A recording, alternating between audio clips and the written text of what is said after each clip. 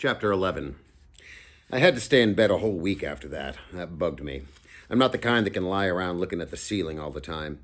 I read most of the time and drew pictures. One day I started flipping through one of Soda's old yearbooks and came across a picture that seemed vaguely familiar. Not even when I read the name Robert Sheldon did it hit me who it was. And then I finally realized it was Bob. I took a real good long look at it. The picture didn't look a whole lot like the Bob I remembered, but nobody ever looks a whole lot like his picture in a yearbook anyway.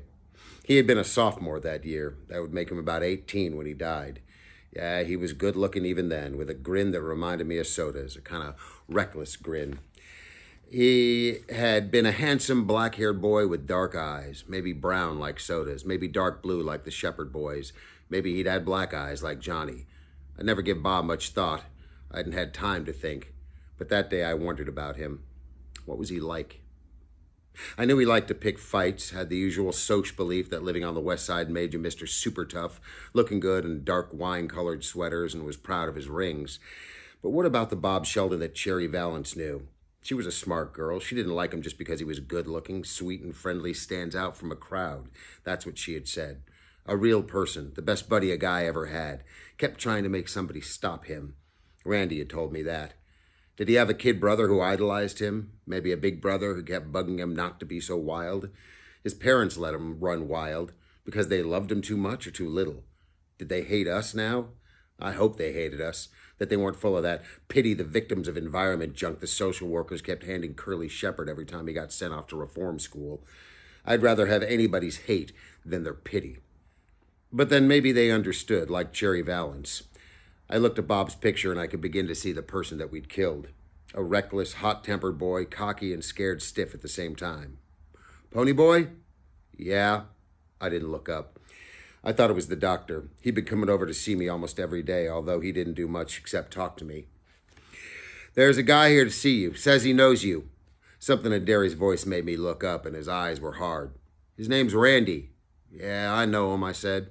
You want to see him? Yeah, sure, why not? A few guys from school had dropped by to see me. I have quite a few friends at school, even if I am younger than most of them and don't talk much. But that's what they are school friends, not buddies. I had been glad to see them, but it bothered me because we live in kind of a lousy neighborhood and our house isn't real great. It's run down looking and everything, and the inside's kind of poor looking too, even though for a bunch of boys, we do a pretty good job of house cleaning. Most of my friends at school come from good homes, not filthy rich like the Socs, but middle class anyway. It was a funny thing. It bugged me about my friends seeing our house, but I couldn't have cared less about what Randy thought. Hey, Ponyboy. Randy looked uncomfortable standing in the doorway. Hi, Randy, I said. Have a seat if you can find one. Books were lying all over everything. He pushed a couple off a chair and sat down. How you feeling? Cherry told me your name was on the school bulletin. Yeah, I'm okay. You can't really miss my name on any kind of bulletin. He still looked uncomfortable, although he tried to grin. You want to smoke? I offered him a weed, but he shook his head. No, thanks. Uh, Ponyboy, one reason I came here was to see if you were okay, but you.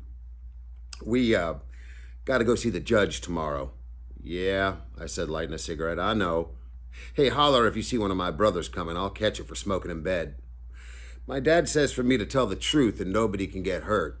He's kind of upset about all this. I mean, my dad's a good guy and everything, better than most, and I kind of let him down being mixed up in all this. I just looked at him.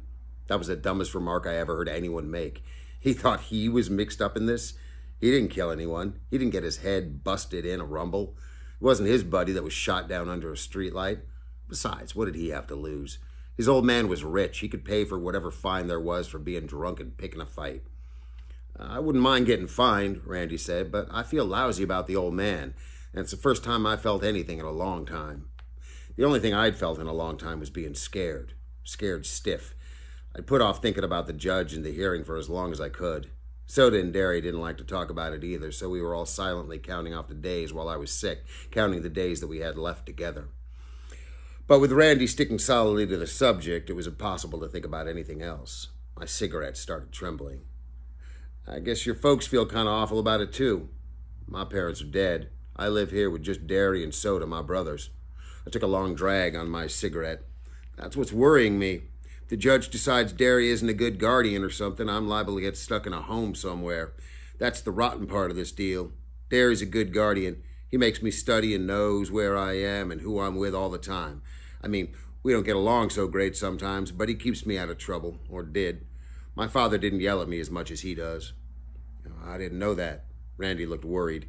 He really did. Uh, a Soc even worried because some kid greaser was on his way to a foster home or something. That was really funny. I don't mean funny. You know what I mean.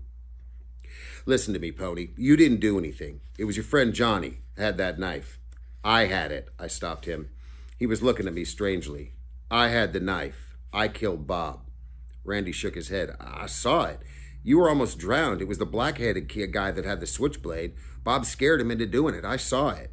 I was bewildered. I killed him. I had the switchblade and I was scared they were going to beat me up. Nah, kid, it was your friend, the one who died in the hospital. Johnny is not dead. My voice was shaking. Johnny is not dead. Hey, Randy, Darry stuck his head in the door. I think you better go now. Yeah, sure, Randy said. He was still looking at me kind of funny. I'll see you around, Pony. Don't ever say anything to him about Johnny, I heard Darry say in a low voice as they went out. He's still pretty shaken up about it, mentally and physically. Doc said he'd get over it if we gave him time. I swallowed hard and blinked. He was just like all the rest of the Socs, cold blooded mean.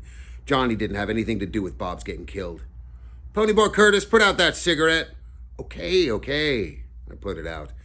I ain't gonna sleep smoking, Darry. If you make me stay in bed, there ain't anywhere else I can smoke. You're not gonna die if you don't get a smoke. But if that bed catches on fire, you will. You couldn't make it to the door through that mess. Well, golly, I can't pick it up, and Soda doesn't, so I guess that leaves you. He was giving me one of those looks. All right, all right, I said. That don't leave you. Maybe Soda'll straighten up a little. Maybe you can be a little neater, huh, little buddy? He never called me that before. Soda was the only one he ever called little buddy. Sure, I said. I'll be more careful.